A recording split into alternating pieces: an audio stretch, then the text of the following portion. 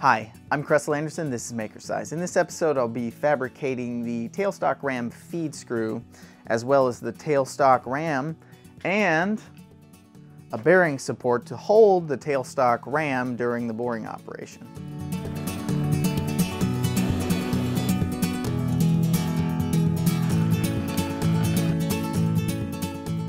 The Morse taper in the tailstock ram accommodates different tooling.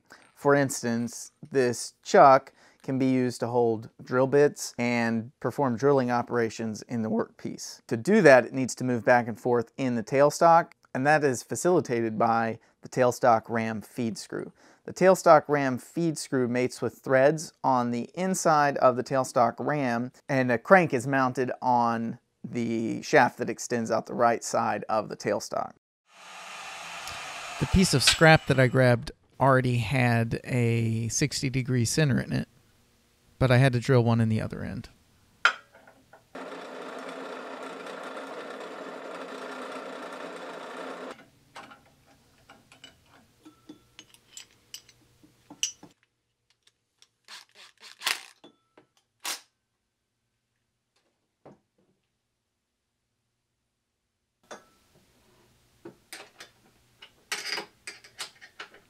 I had fairly low run out at the tailstock end, which means I got the center pretty close.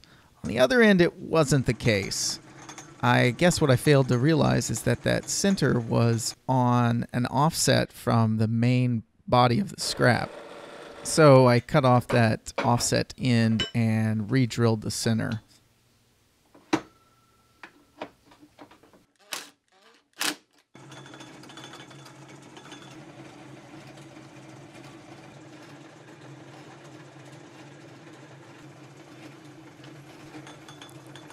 I like to keep track of the different measurements as I'm turning down a piece. When I'm trying to approach something like 3 eighths of an inch, I set my calipers to show me the difference, and then I write down a target of where I want to get. In this case, it was 20 thousandths over 3 eighths. I adjusted the cross slide in by about 9 thousandths, and that got me pretty close to 20 thousandths over. So I continued that down to 3 eighths.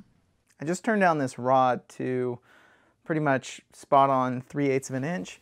And that will be the feed screw for the tailstock ram. And the next thing I need to do is thread this rod. But first, I'm going to take this 3 8 inch arbor and I'm going to use that as an opportunity to correct these pulleys. They need a crown. I'm to go ahead and try to take care of that now.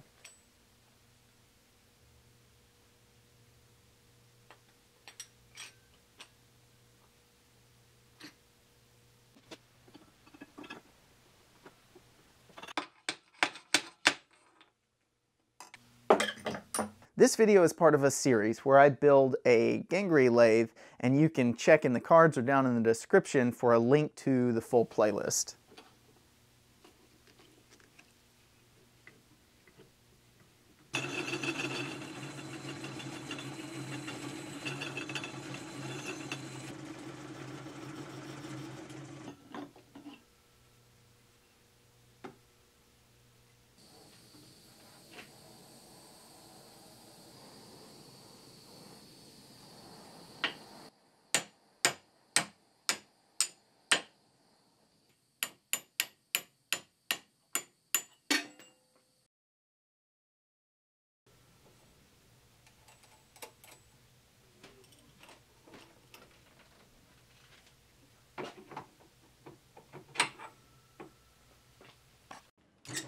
I wasn't crazy about how far that inside belt was tracking to the left of the intermediate pulley.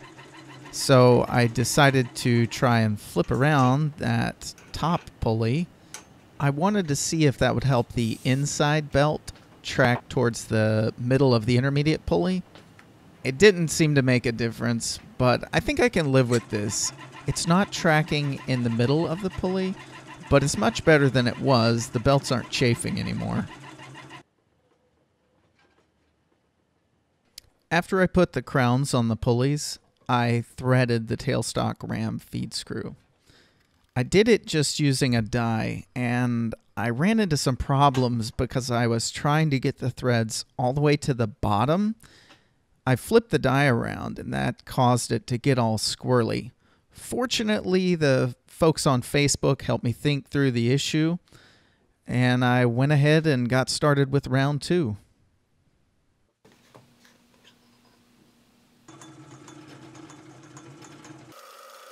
This time I decided to turn down a portion of the rod so that my die would be aligned for cutting the threads on the end part. I looked up the minor diameter in Machinery's handbook and then I turned down the rod to that diameter.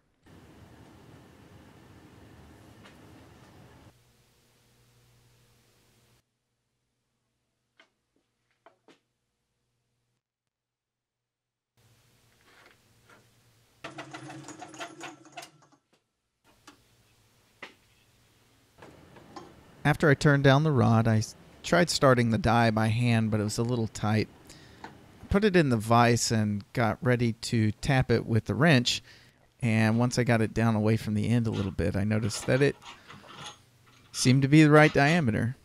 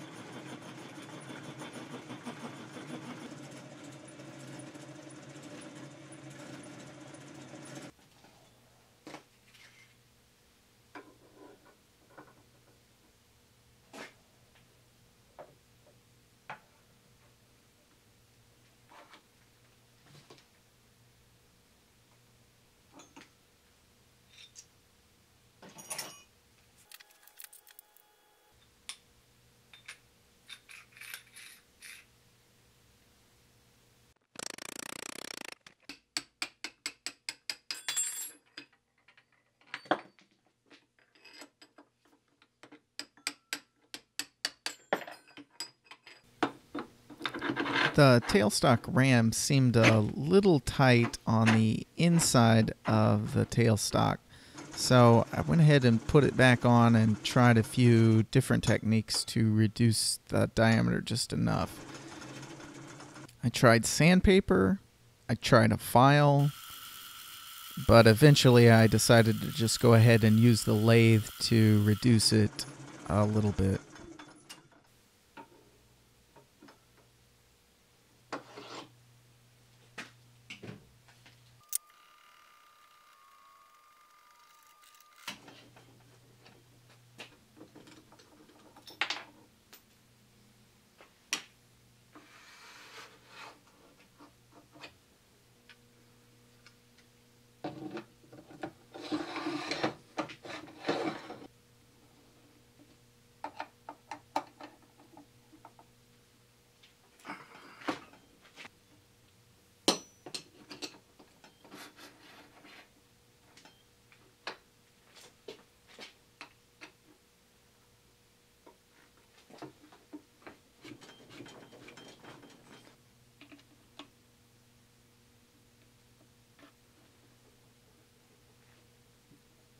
The tailstock's getting pretty near completion and I'm happy about that. I've even got uh, some of the footage already available as extended cuts to Patreon supporters. So those of you who are supporting me on Patreon, I really appreciate it and I hope you enjoy that footage. And uh, looking forward to making some progress in the coming weeks. Hopefully wrapping up the lathe in the month of January. Thanks for watching.